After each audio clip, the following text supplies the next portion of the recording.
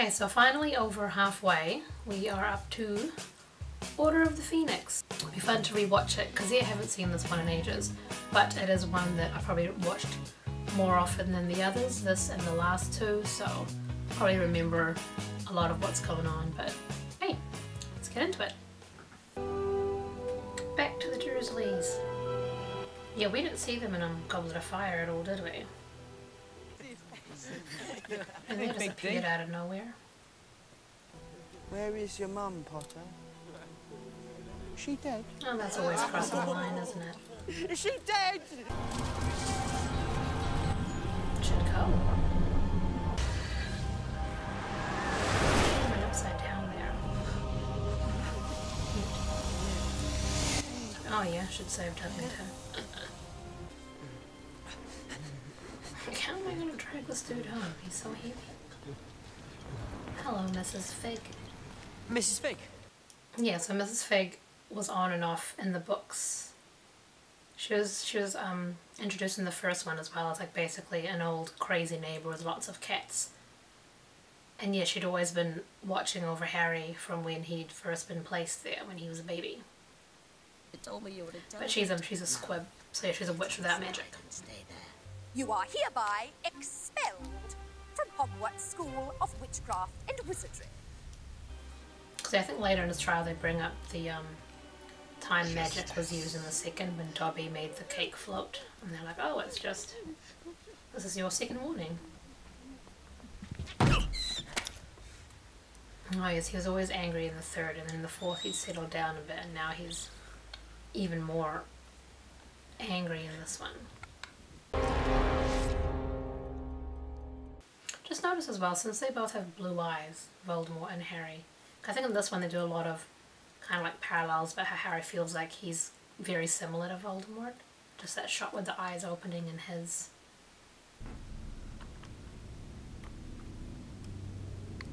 That's a bit creepy. It's nice they gave him a lock so he can lock people out of his room. Rescuing you, of course. Because he's not suspicious. Because in the book he was more suspicious of Moody. Because it's like, last year you weren't really, You haven't been. you know, you. You take. Oh, yes, this music. What's it called? I think it's called The Flight. You think um, oh gosh, who did the music? Nicholas Hooper or someone? I don't know. I just I really really like the music in this film. Those people on the boat clearly saw what just happened there. Yes, number 12, 12? 12, right? You're number 12, Grimmauld Place. So yeah, another thing in the book is that it's like secret keeper magic is only Dumbledore kind of knows of the existence of it and you can only find out about it if he tells you. So he opened, in the book, he opened up a note written in Dumbledore's handwriting being like, hey, number 12 Grimmauld Pulse, Grimmauld Place is here. By the minute, we have to act now. Serious. Uncle, Godfather, whatever, and Lupin, Mrs. Weasley. and Molly. Wait, did we see Molly in the fourth at all? I don't think we did, was it? It was just the Bit peaky. dad. But I'm afraid dinner will have to wait. Kreacher. Let into her house. What would she say? The only other house elf we ever see. We wanted to write, mate. Really, we did. Only Only what? Only Dumbledore made us swear not to tell you anything. Hermione's just so, she's so frantic. Dumbledore's. was bad. He's not child, Molly. Extendable ears. He's not James.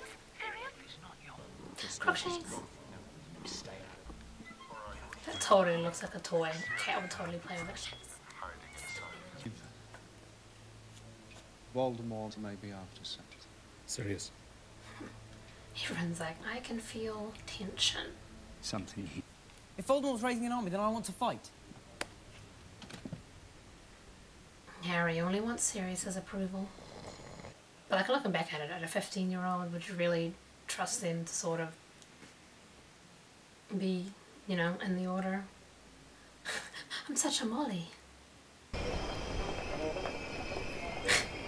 Just so how awkward Arthur was standing. Ah, this means rain. Underground. Genius, these muggles. I've never used the visitor's entrance Are there before. any of those red telephone boxes fun. still around in um London? Like I know they're a thing of the past, but I feel like you have one or two for like novelty purposes. Because yeah, it's such a classic thing, right? Like the telephone box. Like that's why Doctor Who originally the TARDIS is like a blue telephone box because it's like a classic staple of pop culture there. Disciplinary hearing of the 12th of August. It does look very by Harry James formal Potter, resident at number for what should be like a small court Windy, matter, you know. Surrey. Interrogators Cornelius Oswald included one that the actual prime minister, prime minister, that the actual minister for magic would be there for. Wulfric. Dumbledore's like, woo! I love to make an appearance. Harry's so happy. You, you, his actions. I mean, would there be like a produce law a where, yes, it's in front of a muggle, but it's in front of his cousin who's already aware of his magical status? You know? It feels like there should be leeway in that law. For a moment, as though you were suggesting I'm that the ministry had ordered the attack on this I mean, Umbridge, you know, she's a indeed, terrible Madam Undersecretary, character, but Which is why I will be mounting so, so you gotta full love her. Not really, but Which is why the she, two Dementors were so very the actress us, Imelda, she just does it so well. mounted an attack. Like, you know, that kind of course there is someone smiling face, but her voice is who like, might be behind the attack. I hate you. Coupled with someone in power makes her, you know, kind of a dangerous person. Stop. Don't make my job hard. I see that gif a lot. Hey, Sirius. I love how here he's got like, little you know, just a robe or a coat thing wanna cover him. back in his- But like in the Oh, third don't Neil worry the about Dog and Dragon Ronin, he was still in his prisoner clothes. I wanted So- you to have this. Oh, Neville's parents. They suffered a fate worse than death, yeah, and I don't know if they um explained the whole how Neville could have been the other chosen one because he also met the requirements of the prophecy of the one who was going to defeat Voldemort.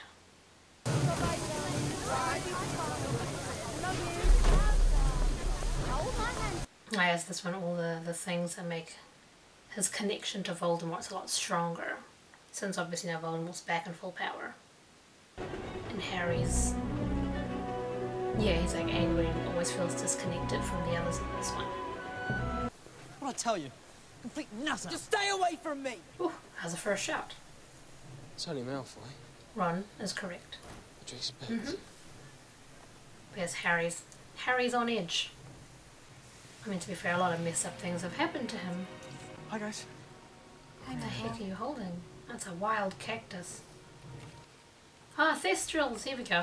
I think I confused the winged horses in the last one for Thestrals. this is a Thestral. Luna! You're not going mad. Nice the voice she uses. I can see them too.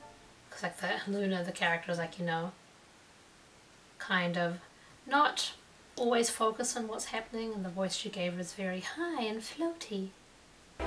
Shameless. Does help Harry's feeling of disconnect, does it? Now, we're pleased to welcome back Umbridge is so Grubby pink. Let us preserve what must be preserved, perfect what can be perfected, You know, her facial expressions and everything. She does this role so well. It's not the, it's probably the role she's most, you know, remembered for. But, you know, a good villain really does make for a good story. Like, um, Joffrey, everyone hates him, but, and the dude played him so well. Everyone goes so quiet. Potter or Plotter. You know someone had fun coming up with those. And about Dumbledore as well. What, and your mum believes them? Well, nobody was there the night Cedric died. Oh, well, I guess you should read the prophet then, like your stupid mother. It'll tell you everything you need to know. Oh, Harry went harsh, but again, tensions are tensions are high. Do you believe the But yes, try and tell Harry like, yo, you're not alone. We got your back. Fine. Because yeah, the third, the angsty felt kind of funny, but in this, it definitely feels more serious. Like Harry's really proper angry this time. When he does the little snake movements and then the, the music the noises that keep connecting him. Again, because he does have that connection with Voldemort, which also leads into Horcruxes. As much issues as Harry Potter has, and you know, its author, I just, I still really enjoy the series as a whole. You have been told that a certain dark wizard is at large once again. There are times where it is wiser This to kind of keep your mouth shut, but it's Harry, not a lie. I saw him. I fought. Detention. your sugar's pink. even I tap it at like maybe one teaspoon of sugar there. But yeah, no, just the character of Umbridge is everything. Like how she's all in know pink, and she does all these, she wears all these cute kind of outfits, and all the pink and all the thing. In contrast to you know her personality and what she does, I don't know. And I think Stephen King, or someone said like Umbridge is a really good, you know, villain. I think everyone agrees on that. We all agree that we hate Umbridge. You haven't given me any ink. Oh, you won't need any ink. This uses blood. But yeah, could you imagine how much that hurts? Like, because it's carving it into your skin enough to make a mark that it. Oof. But Harry's like, it's a battle of the wills. It's like, no, just tell someone, man. Literal torture. Oh, yeah. And because yeah, in the fourth one they're taking in all the bits and stuff. And this one they're introducing Weasley's wizard. Weasley's what was it? Wheezes? Is that what it's called? And I don't know if they explained it, but Ron and Hermione are prefects in this one, but I don't think they've really said anything about that. Again, though, the fifth book was giant. They can only be seen by people who've seen death. I think if there's the argument of technically So, Harry should have always been you able to found see them because he technically saw his parents die as an infant, but that She was quite I think the excuse is like he was too young to understand what had happened. Whereas last year when Cedric died, day he had the the full understanding of what he'd seen happen. was nine. Montage. Defense against the dark arts. I like his Dolores montage from in and out of the um, newspaper. high I remember I had one teacher in high school. She was very much into proper dress and decorum. Like your tie had to be up, your shirt had to be tucked in, or all the buttons buttoned. Your hair. The thing that got me is she's always like no bra strap showing. Like it's, it's just a bra strap, you know. It's pretty much just clothes. The bra strap thing always bugged me. You could just lie and say it's a singlet because then it wouldn't matter. I've lived a daughter. Oh, God. Oh, oh Parvati oh. and Padma are crying. Because in the books they're very close to her. Mm, Something you'd like to say, dear? Oh, there are several things I would like to say. Not with children around. Combat? What does he think? We're forming some sort of wizard army? That's exactly what he thinks. He's scared But of Dumbledore is assembling his own force. That kind of says a lot. Harry's just glaring at her. Why? Why? Because you know who's back your tosspot. Got defensive pronouns already. So dumb. When you're a second away from being murdered, or watching a friend die right before your eyes, you don't know what that's like. Hmm. Yes, like Hermione says. That's why you're the best one to teach us. Cho couldn't take her eyes off you, could she? I don't know if that was on purpose or not, but there's definitely a change in Ginny's expression just then. Ah, yes, the Room of Requirement. You know a lot of shady stuff's happened in there. Montage of Dumbledore's army time. I'll go easy on Don't know why Ron would assume he'd do good at this, considering Hermione's literally the top in her class. Come on, Ron. Come on, Ron. Because yeah, in the book, um, Hermione had jinxed the um, paper that they wrote their name on, so that Cho's friend, when she snitched to um, Umbridge about what was going on, like all these pimples on her face sprouted up that spelled out, what did they spell out? Freak or something, I don't know, but kind of gave her up as it. But then in this one, I guess because Cho's friend wasn't there, and then they needed to give Cho an out. You can kind of see why they combined it to be her, you know? Started out as nothing more than what we are now. Students. If they can do it, why not us? I mean, yes, you also need time in addition to that, but I like the sentiments of what Harry's doing there. He'd make a good teacher. Expelliarmus! Everyone's like, heck yeah, good job, everyone, you did it. Fantastic. That's the best environment to learn in. Lots of support from everybody around and from the teacher. Keep practicing on your own as best you can. And- how happy and Harry is. well He's done like, I'm. I'm doing great, something. Great work.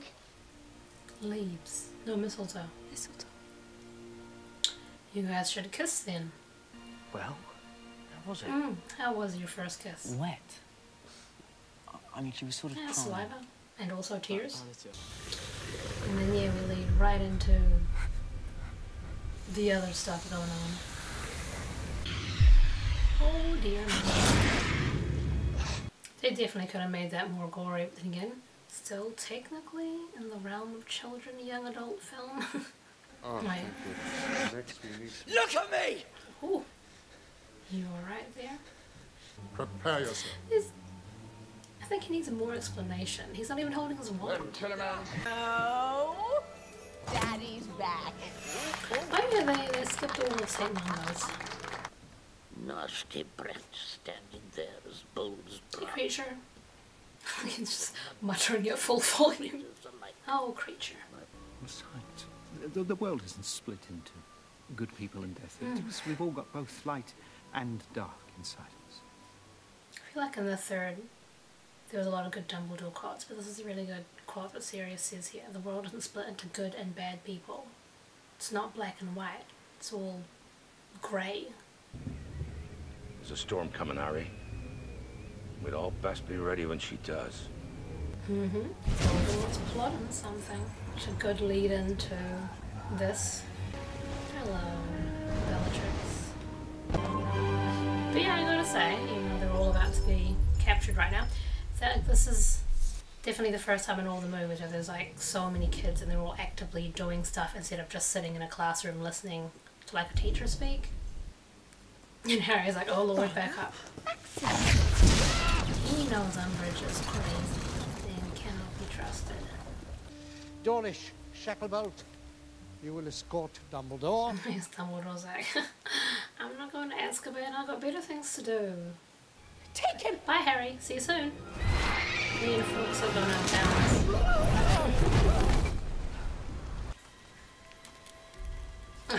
and both the twins, they're like, yeah, we too like to make dramatic entrances and exits. And then everyone's mad at Cho.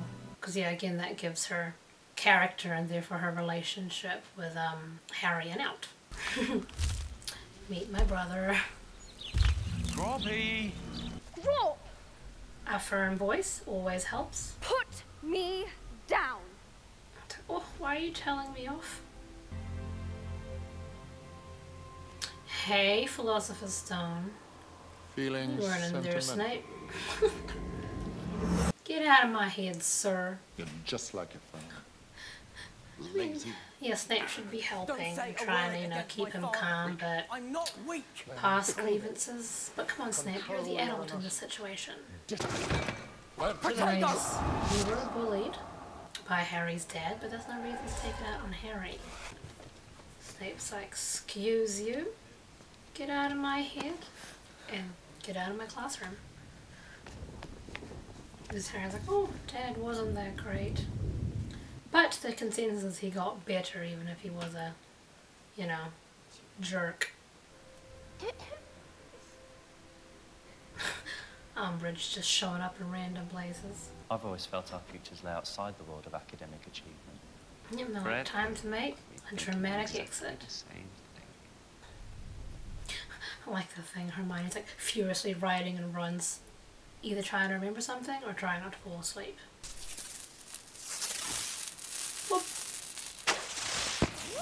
Just a teeny one to kick things off, you know. like save the biggest one to go for Umbridge.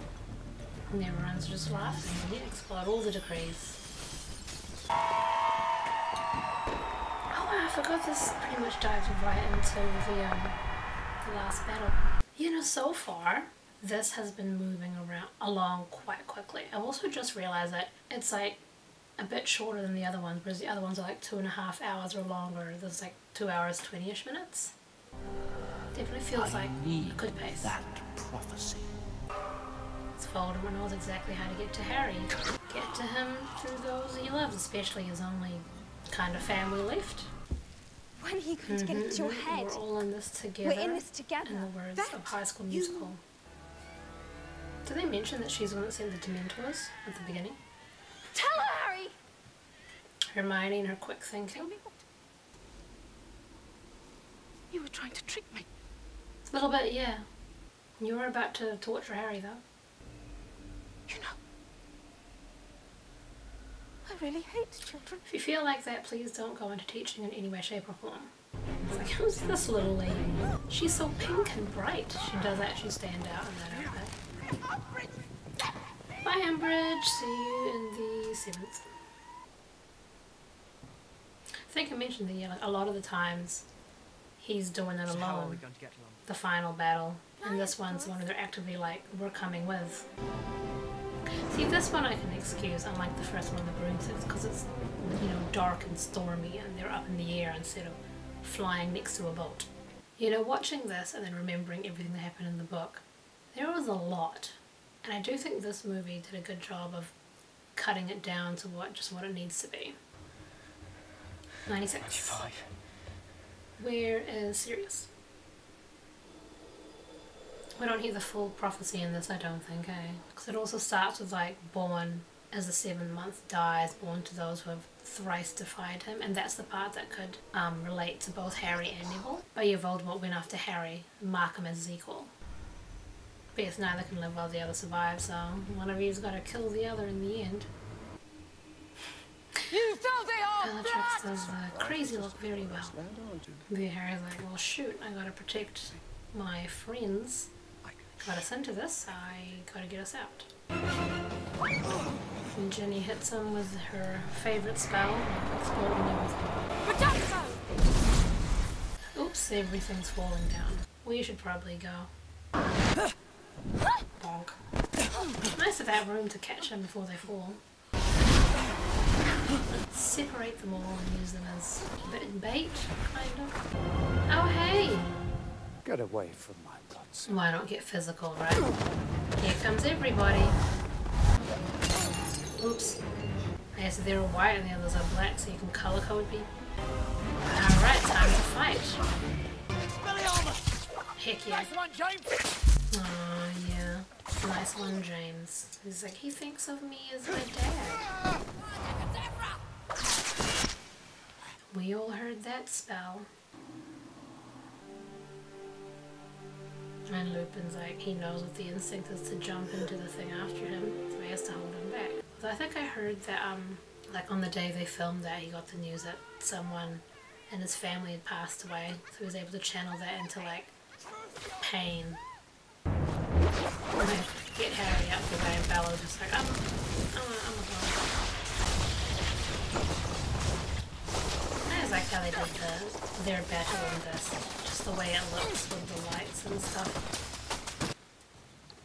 Because Dumbledore's red, red versus green, because he's he's always, because yeah, green is to kill. Voldemort's always fighting to kill, and then Dumbledore's just doing it to like, um, stupefy basically, you know, to hold him, not to kill him. It's a lot of glass. Have some dust. Ugh. Fine, Landy. See, possession of another human being. I don't think we've done that. I mean, technically, I guess Professor Quirrell, but the fact that he he like possesses Harry. I don't think he does anything like that again. Oh yes, the similarities between the pain and suffering and anger and stuff. Those emotions have a strong hold, but it's like there's there's there's good there still too. It isn't how you are like. It's how you're different. It's how you are not.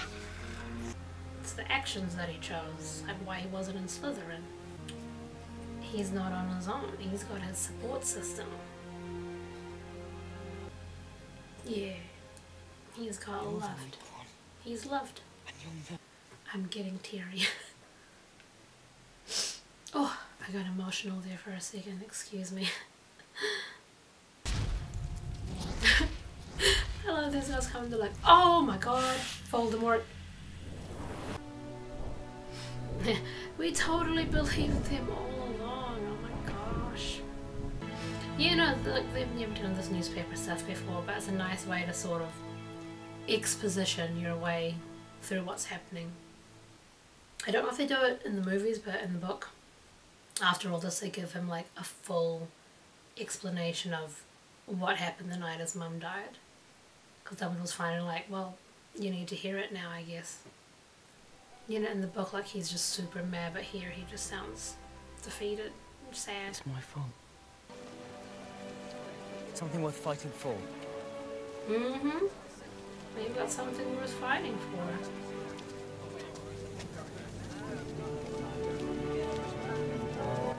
Like this one feels like, despite everything that happened, it definitely ends kind of more positively, whereas the fourth, definitely a downer. But like, you need this little, after being so, you know, angry about everything through the fifth, you needed this bit of positivity at the end. Gosh, I really did love rewatching that. I love this movie so much. I, I, I didn't get bored once throughout it. Maybe it's also because of the length, like it's just two hours, because the rest is now just credits in comparison to the others where it's two and a half hours. Yeah, I mean, so much stuff happens, you know, you get introduced to Luna Lovegood, Umbridge, again, great villain. Big moments happen, Sirius Black's death.